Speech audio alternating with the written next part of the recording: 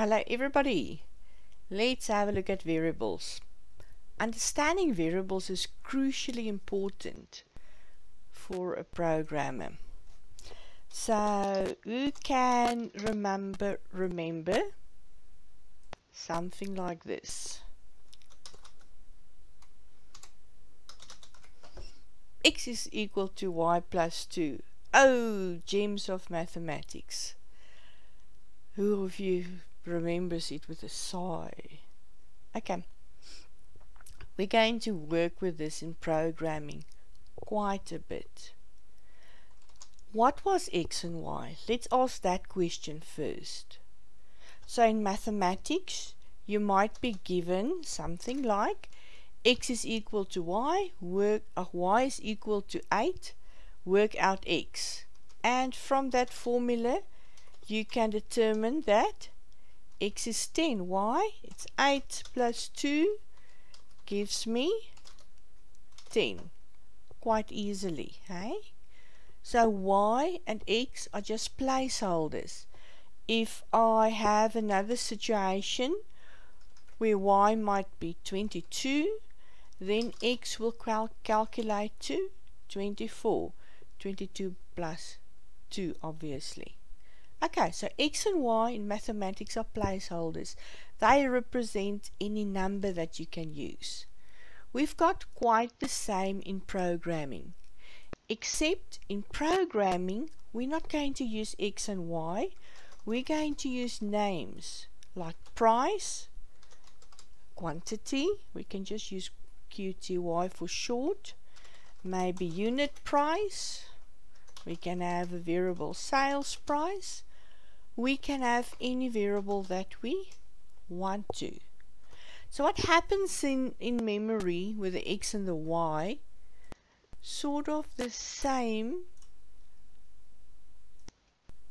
as what would happen to the following situation. If we were in mathematics, we want to say, I want to save store x and I want to store y in a memory block. That is now represented with the um, drawer, the different drawers there in my cabinet. So if X, if Y stores 8, then I save 8 in this drawer called Y. And now when I use that in my formula, instead of the Y, we can look up what is stored in the drawer called y. Retrieve the 8 and my formula would be 8 plus 2 gives me 10. Or we can store 22 in the drawer. And then when we retrieve the value of y for my formula y plus 2, I retrieve 22 calculate x as being 24. Now in much the same way, I can give names to the memory locations that I've got on the PC. So I can say that I want to, this doesn't want to work now, so let's just manually name things. I want to save quantity. I want to be able to save the unit price. And I want to be able to save the sales price. Just need to type correctly there. Okay I want to save those three things. So this would just be memory locations where I save the data. And if somebody tells me the quantity is 8 then I can manually put 8 in this drawer. And I will do it much the same as what we do in mathematics by saying variable on the left hand side an assignment statement which you can thought of as an equal to for now and 8 so this really means take 8 put it in the drawer called quantity. Or I can have unit price equal to 1 rand 55 so take 1.55 put it in the drawer called unit price. And then later on when I've got my formula let's just say the sales price is the unit price times the quantity. So I need to be able to see what is my formula. Then when I run this program the computer will retrieve the data stored in unit price which would be 155 it's going to multiply it with the quantity.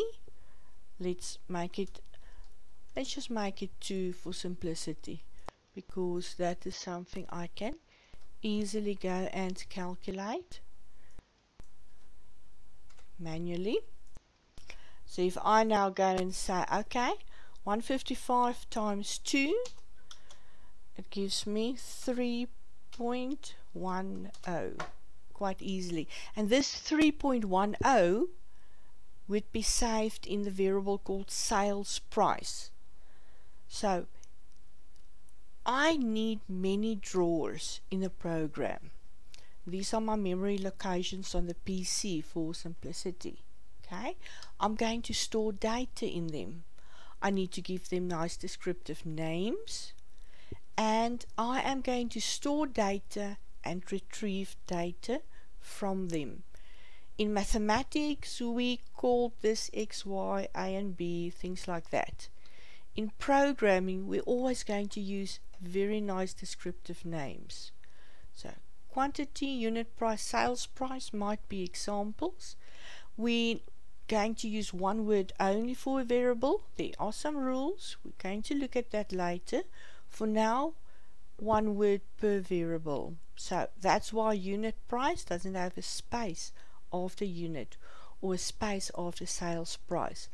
If I've got more than one word that combines to form a nice description because price alone doesn't tell me whether it's the unit price or the sales price.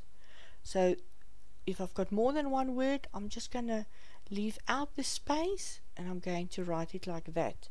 Different languages computer languages have got different rules as to how variables must be named.